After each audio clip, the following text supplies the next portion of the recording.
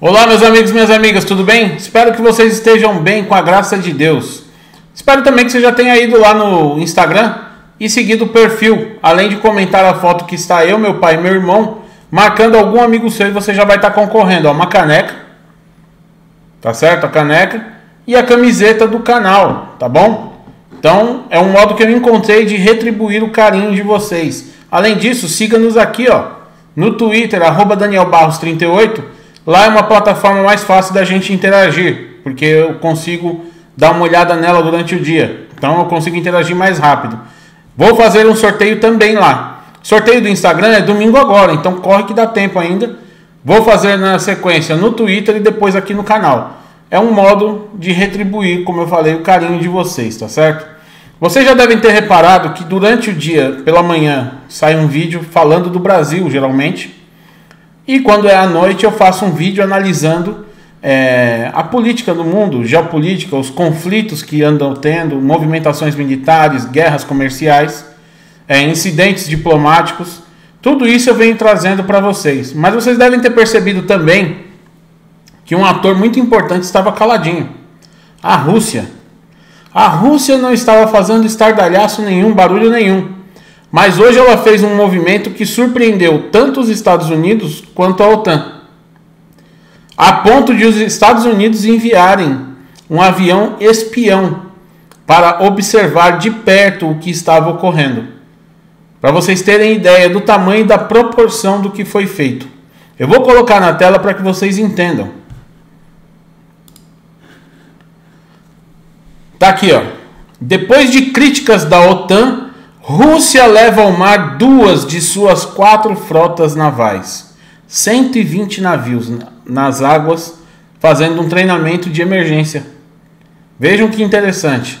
Mobilização rara ocorre nos mares Báltico e Negro, após fala considerada provocativa da Aliança Ocidental, a OTAN.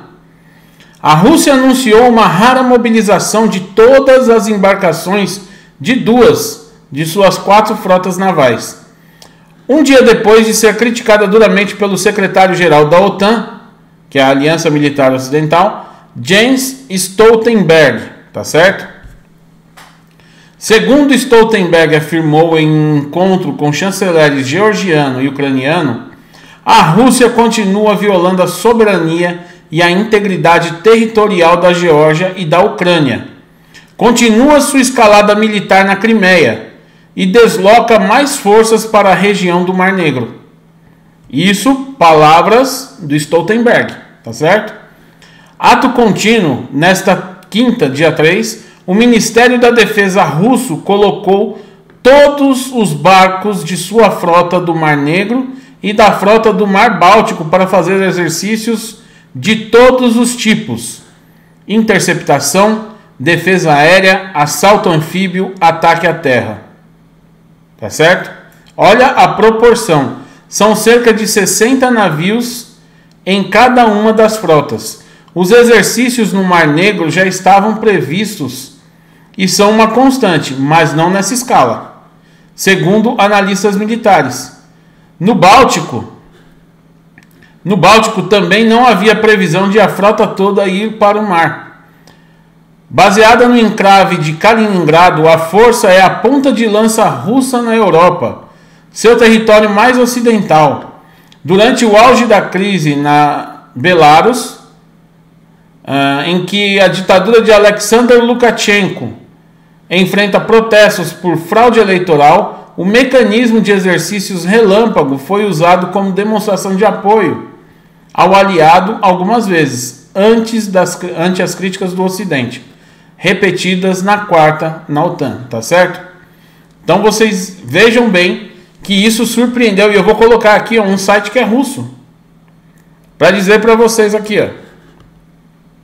Toda a frota do Mar Negro inicia treinamentos, tá? Tá aqui no Sputnik, você pode conferir, não precisa acreditar em mim, como eu sempre falo, não acredite em mim. Olhe as fontes que eu mostro para vocês. Tá aqui, ó. Frota do Mar Negro da Marinha Russa saiu com toda a força para treinamentos. Informou nesta quinta-feira o Ministério da Defesa da Rússia. As manobras da Marinha Russa já chamaram a atenção dos Estados Unidos, segundo dados do portal Flight Radar. A área de treinos foi patrulhada por um avião espião estratégico norte-americano, Boeing RC-135U Combatente. Ele decolou de uma base aérea da OTAN na ilha de Creta, sobrevoou as águas do Mar Negro, se aproximando da península da Crimeia. Depois girou por cima do território da Geórgia e regressou. Aviões dos Estados Unidos e seus parceiros europeus regularmente executam é, voos sobre o Mar Negro, se aproximando das fronteiras russas. Assim, em 28 de novembro agora, o Centro Nacional de Gerenciamento de Defesa da Rússia informou que um caça Su-27 interceptou uma aeronave de reconhecimento da Força Aérea dos Estados Unidos sobre o Mar Negro. Então vocês vejam o que eu falei. A coisa está se intensificando. Eu não quero ser o profeta do apocalipse, não quero ser o, o profeta do caos, mas eu gosto de mostrar para vocês em que pé está a coisa e um erro, um simples erro, um acidente pode causar algo muito maior. E não sou só eu que falo isso. Eu nem sou um analista militar, mas acho estranho essas movimentações. Analistas militares falam isso. E eu vou pôr aqui para vocês na tela. Você vai pegar aqui a notícia está na Folha de São Paulo. Não gosto de usar essa fonte, mas ela está reproduzindo, tá? Ah, aqui, ó. Com isso, o governo, o governo Putin mostra prontidão militar no contexto da pandemia e de transição de poder na potência líder do Ocidente, dos, uh, os Estados Unidos. O risco, sempre apontado por analistas, está aqui, ó. Sempre apontado por analistas, é de choques acidentais nesse cipoal de exercícios e manobras, em especial em lugares com proximidade geográfica e com contenciosos, como o Mar Negro. O contencioso que tem lá, justamente a anexação da Crimeia. Há um contencioso entre Estados Unidos, Rússia, Ucrânia, a OTAN em geral. Então é muito, muito interessante a gente acompanhar isso de perto, tá? Mais um detalhe: a assertividade russa segue um padrão. Há duas semanas após Joe Biden derrotar Donald Trump na eleição americana, isso é o que eles dizem, né? nós vamos ver o contrário ainda. Houve um incidente entre destroyers russos tá? e dos Estados Unidos no Pacífico, uma região usualmente de contencioso entre Washington e Pequim, que nada tinha a ver entre os dois, não há um contencioso entre a Rússia e os Estados Unidos naquela região mas houve um incidente. Agora pensa se há um incidente entre destroyers de, dos Estados Unidos e da China. Poderia ocasionar uma guerra, deflagrar uma guerra. Até que se acerte diplomaticamente o encerramento, muita gente teria morrido. Então é muito importante que a gente preste atenção nessas movimentações. E eu tenho acompanhado elas bem de perto. Todos os dias eu olho. Tanto que vocês veem que quase todos os dias tem novidades sobre o assunto. E me chamou a atenção essa movimentação repentina russa. Colocar 120 navios no mar para um treinamento de emergência. O treinamento estava previsto em uma escala muito pequena, que são treinamentos usuais, normais, de uma marinha, de um exército, que eles fazem normalmente. Não na escala como foi. É uma escala gigantesca. Tá? metade da marinha fazendo exercício. Tudo junto. Além disso, tem uma notícia de ontem que já tinha me chamado a atenção. Rússia, Rússia implanta mísseis de defesa aérea nas disputadas ilhas Kurilas, reivindicadas pelo Japão. O Japão chama de territórios ao norte. Os militares russos anunciaram o lançamento de mísseis avançados de defesa aérea nas ilhas Kurilas, reivindicadas pelo Japão. Os sistemas de mísseis de defesa aérea S-300V4 entraram em serviço é, de combate nas Ilhas Kurilas, além dos sistemas de mísseis de menor alcance Thor M2, implantados lá anteriormente, disse o Distrito Militar Oriental da Rússia em comunicado em 1 de dezembro, agora, tá certo?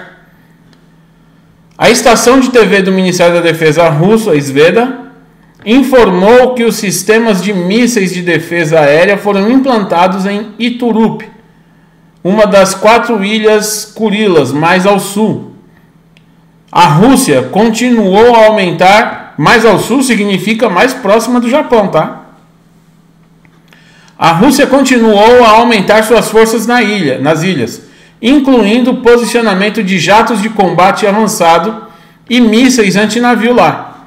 Esta região das Ilhas Kurilas possui um valor econômico estratégico muito grande devido às riquezas minerais e pesca em abundância.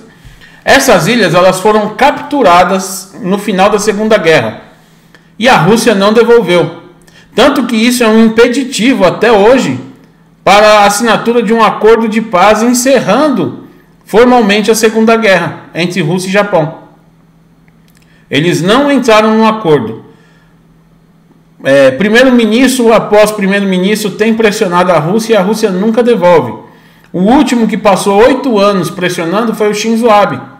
Agora, o, o atual primeiro-ministro, que é o Yoshide Suga, tá? Tá aqui o nome dele. Yoshide Suga, ó, pouco depois de assumir o cargo em setembro, o recém-eleito primeiro-ministro japonês Yoshide Suga discutiu a disputa territorial em uma ligação com o presidente russo Vladimir Putin. O ex-primeiro-ministro japonês Shinzo Abe pressionou para resolver a disputa durante quase oito anos no poder. Então é isso que eu queria trazer para vocês essa noite. Isso chama muita atenção, muito a atenção mesmo, tá? É muito importante. Agora eu vou dar só uma notícia rápida aqui do Brasil. Eu quero que vocês vejam aqui, ó. O Brasil vai lançar o seu submarino Humaitá, tá certo? Aqui, ó, o submarino S-41 Humaitá será lançado ao mar no dia 11 de dezembro de 2020. Ele vai provavelmente vai ser usado para dar segurança, patrulhar o que eles chamam de Amazônia Azul, tá certo? Então, uma notícia muito boa para o Brasil. Não é o nosso submarino nuclear que vai começar a ser construído agora em 2021, se eu não me engano. É 2021 ou 2022 que começa a ser construído. Aí sim, uma notícia vai ser assim emocionante você falar, olha, o Brasil desenvolveu um submarino nuclear e está lançando ao mar. E isso vai ser realmente espero estar bem e estar é, aqui no YouTube com vocês para falar disso no futuro, tá certo? Um grande abraço e que Deus abençoe a todos.